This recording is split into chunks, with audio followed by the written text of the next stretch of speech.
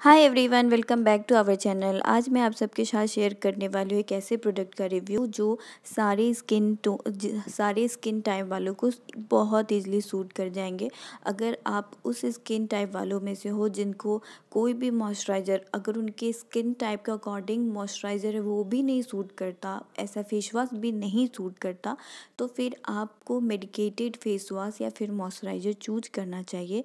And इस चीज़ में ये ब्रांड बेस्ड है सेटाफिल के बारे में आप सबने सुना होगा। इसके मॉइस्चराइज़र भी बहुत अच्छे हैं।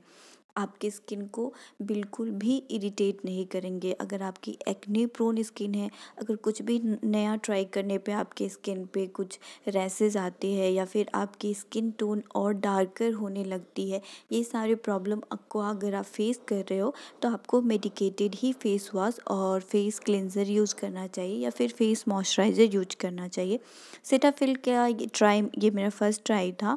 टू ईयर इसकी शेल्फ लाइफ है, इसलिए मैंने छोटी सी पैकेजिंग ली मैं आपको भी यही सजेस्ट करूँगी कि अगर आपको कोई भी न्यू कुछ ट्राई करना है तो आप छोटी वाली ले लो ट्राई करो एंड देखो वो आपको सूट करती है तो ही बड़ी लो एंड इसकी प्राइस थी I am one fifty rupees थोड़ा सा प्राइसी है बट ऑफ़ कोर्स इसके बेनिफिट के अकॉर्डिंग प्राइस कुछ भी नहीं है, क्योंकि ये आपके स्किन को वाकई इन्हेंस करेगा अगर आप इसे लॉन्ग टर्म के लिए यूज़ करते हो।